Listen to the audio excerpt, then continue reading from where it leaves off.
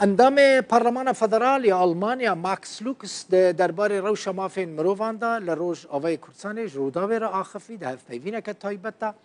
Max Lux got rewşa mafên mirovan li deverên di bin kontrola Rêveberiya Xweser de ne gelekî baş e. Lê li gorî deverên dibin desthilata hikûmeta Sûriyê û hevpeymanên Tirkiyê de çekdarên opozisyona Sûriyê de rewş baştir e yanî rewşa deverên rêveberiya xweser ji wan deveran baştir e lê ne baş e bi giştî. Her wiha diyar kir ku yek ji armancên Yekîtiya Ewropa li Sûriyê parastina Kurdan e.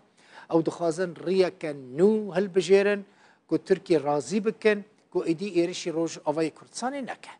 Parlamenterê Alman dibêje çekdarên opozisyona Sûrî li hevpeymanên hevpeymanên Tirkî yanî ji hevpeymanên xwe ji Tirkiyê dixwaze ku mafên Kurdan binpê neke behsawî çekdarên ku girêdayî Tirkê ne û wan binpêkirinên ku çekdar li dijî Kurdan dikin rawestîne. The human rights situation there is not perfect and maybe it's also far away from perfect. Rewşa mafên mirovan li wê derê ne bêkêmanî ye, dibe ku gelekî ji başiyê dûr be. Bi temaşekirina raporta Çavdêriya Mafên Mirovan bo Rêxistina Navdewletî, bo mînak divê zarok bi zorê ji bo serbaziyê neyên birin. Ev li ti rewangeheke mafên mirovan nayê qebûlkirin, Lê tekez eger rewşa mafê mirovan li wê navçeyê li gel navçeyên li jêr desthilata Esed û hevpeymanên artêşa Tirkiyê ku grûpên îslamî ne, rewşa li bin desthilata Kurdan li Bakurê Rojhilatê Sûriyê baştir e. Destpêkê divê rêyeke hevbeş ji bo Sûriyê bê dîtin. Em piştevanî ya rêyên hevbeş ên Ewropa ji bo Sûriyê dikin ji ber ku niha eger temaşeyî Sûriyê bikin tiştê me li wir kiriye ya gihiştina bi armancê Em şikestine. Ji ber ku yek ji armancên me parastina Kurdên Sûriyê ye û ez bawer im klîta bo vê yekê ew e ku li gel desthilata Kurdî li Bakurê Sûriyê kar bikin.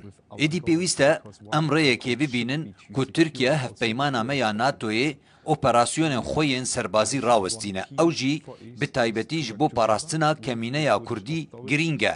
Ji ber ku gelek raport derbarê binpêkirina mafên mirovan li dijî xelkên Kurd hene ku hêzên hevpeymanên Tirkiyê kirine.